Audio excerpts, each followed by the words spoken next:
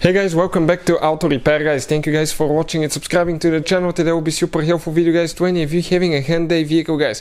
It could be practically any Hyundai. In today's video we will explain what are the symptoms of bad brake disc rotors and uh, when you should replace yours. So stay with us, we'll cover very helpful information that can save you quite a bit of money. Now, we'll demonstrate on a Hyundai Sonata, but the video could be helpful on Hyundai uh, Elantra, Sonata, Santa Fe, Tucson, Veloster and Hyundai Accent as well. If you guys need to buy any parts, tools, anything for your Hyundai guys, okay, we're going to share the links in the description of the video below for your convenience and you can see where we get all the tools and parts from for a really good price and quick shipping as well. Another thing, every single car we get at the garage, we try to make at least 2 to 300 free repair videos. Why we do that? Simply because our mission at the shop is to save you as much money as we can guys.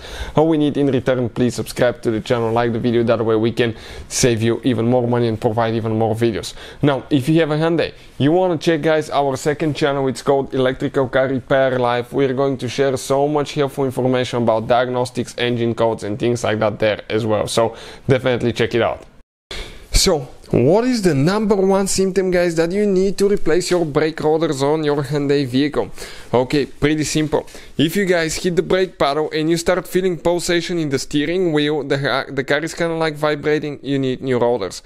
And the faster you go, okay, the more the car will vibrate. Let's say you're going 60 mile an hour, you hit the brake pedal, you barely feel any vibration in the steering wheel. Then you go to 80 mile an hour, you hit the brake and it shakes like crazy. Okay, that is guys a sign that the rotor is not even, it's not smooth, it's wrapped and that will that pulsation, it's called brake pulsation, will be transferred from here to the steering knuckle. It will go to the power steering and it will shake your steering wheel. So if you notice that, okay, in some cases you may take the rotor and actually you can guys uh, take it to a machine shop and they can resurface it if it's not too thin. There is a minimum thickness for every rotor that you need to follow. Otherwise okay it can easily break when you apply the brakes. That's number one. Number two if you have a huge lip on the top and the bottom guys okay above the brake pads and on the bottom of the brake pads you will need to replace it. It means your rotor has been eaten quite a bit also, number three, if you have scoring or spots on your rotor, it's very possible that you need to replace it as well. It should be nice shiny rotor when you drive it. This one's been rusty because the car has been parked for a while as well.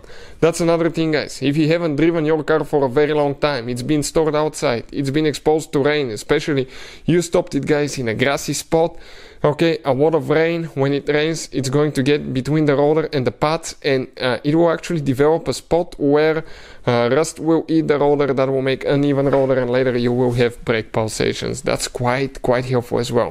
Also, if you have uh, grooves in the rotor, deep grooves, replace it.